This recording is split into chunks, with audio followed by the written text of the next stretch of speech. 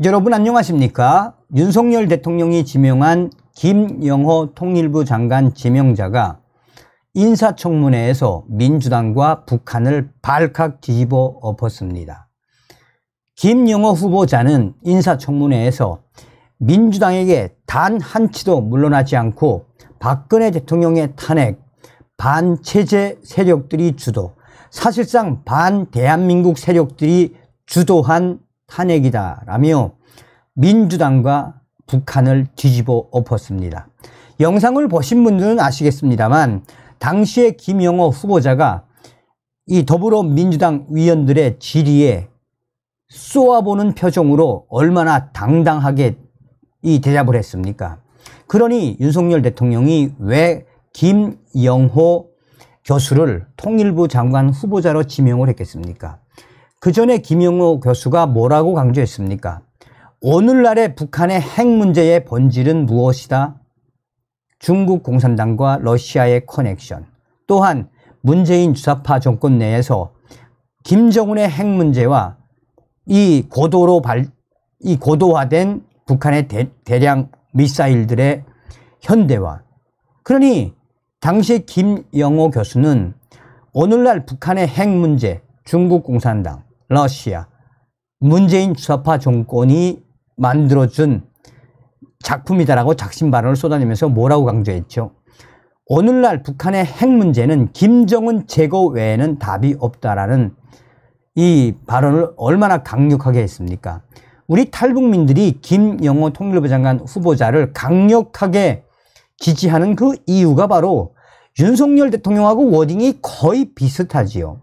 정성산 TV 좋아요, 구독, 알림은 큰 힘이 되겠습니다. 자, 김영호 통일부 장관 후보자는 박근혜 전 대통령의 탄핵에 대해 탄핵 당할 만큼 큰 잘못이 있다고 생각하지 않는다라며 더불어 민주당을 강하게 압박을 했습니다. 청문회가 끝난 이후 국민의힘 여권에서는 역시 김영호 후보자답다라며 당시에 김영호 후보자가 민주당의 질의에 당당하게 소신 발언을 하며 박근혜 대통령의 탄핵, 탄핵 당할 만큼 큰 잘못을 하지 않았다. 박근혜 대통령의 탄핵은 반체제 세력 또한 반대한민국 세력이라고 강하게 어필을 하며 결국 북한까지 발칵 뒤집어 엎었다라며 국민의힘 핵심 관계자들은 역시 김영호 통일부 후보자라는 라는 칭찬들이 지금 줄을 잇고 있습니다. 김영호 후보자는 외교통일위원회가 개최한 인사청문회에서 박근혜 대통령 탄핵에 대한 우상호 더불어민주당 위원회 질의에 한 발짝도 물러서지 않고 탄핵과 관련해 헌법재판소 결정은 존중한다. 그러나 박근혜 대통령의 탄핵은 박근혜 대통령이 탄핵 당할 만큼 큰 잘못이 있다고 생각하지 않는다라고 우상호에게 돌직구를 날렸습니다. 그러면서 김영호 후보자는 박근혜 전 대통령의 탄핵은 대한민국 탄핵이고 국회 독재이며 헌법재판소의 실수라고 과거에 밝힌 것에 대해서도 한 발짝도 물러서지 않고 그 당시 나는 학자적 입장에서 볼 때 대통령 중심제 하에서 대통령 탄핵이 국회에 의해 자주 이루어지면 그 정치 체계가 불안정하다는 게 우리 정치학계의 이 정치학계의 한 학설이고 그 지점을 지적한 것이다라고 강하게 어필을 했습니다.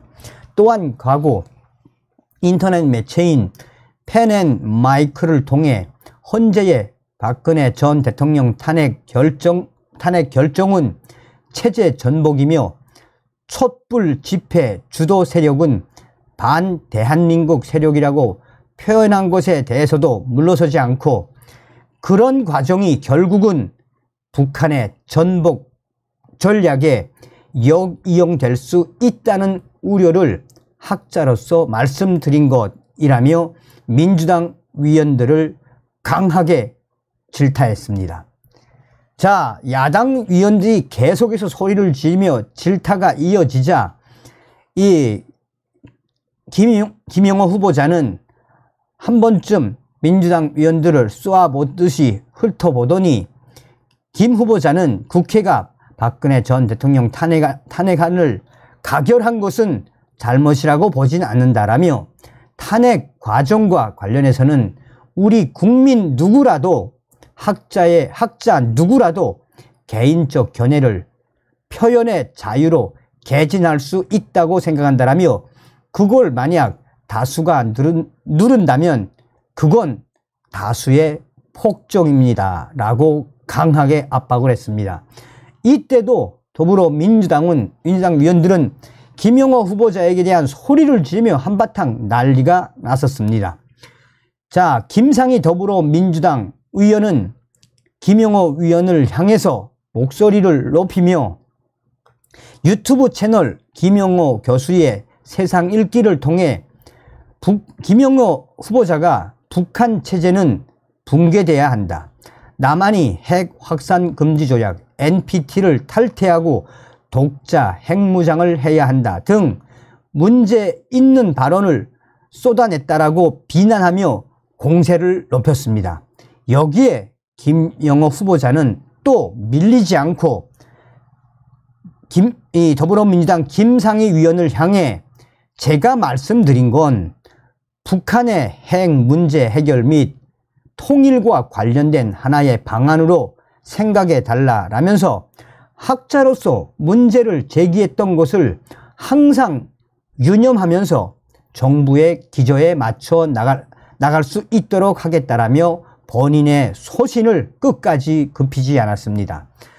이어 통일부 본연의 역할을 묻자 김영호 후보자는 우선 가장 중요한 부분 북한의 핵 문제를 해결하는데 기여해야 한다라며 북한 주민들의 어려운 북한 인권 상황도 개선하도록 해야 한다라고 강하게 어필을 했습니다.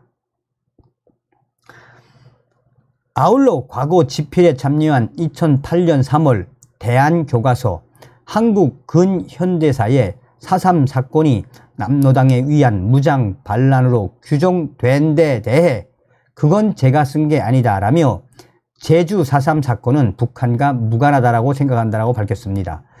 자, 인사청문회를 위한 외통위 회의가 자정을 넘겨 자동 산회하자 외통위는 인사 청문회 경과 보고서 경과 보고서 채택이 없이 청문회를 결국은 종료했습니다. 국민의힘과 더불어민주당 외통위 간사는 주말에 김영호 후보자의 인사청문 결, 경과 보고서 채택 여부를 논의하기 위한 회의 일정 조율에 나설 예정이다 라고 전하고 있습니다. 자, 이 김영호 후보자의 이 작심 발언의 본질은 무엇이겠습니까? 정말 숨겨져 있었던 김영호 통일부 장관 후보자의 뭐지 임명을 하시겠죠 대통령께서 북한을 향한 발톱이 계속해서 보여지지 않습니까? 다음 시간에 뵙겠습니다. 멸공